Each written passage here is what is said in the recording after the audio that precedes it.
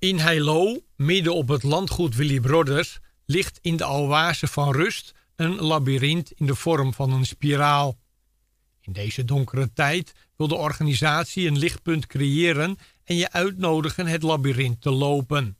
Zodra je in het midden gekomen bent, kan je een briefje met een wens achterlaten voor jezelf of een ander of voor ons allemaal.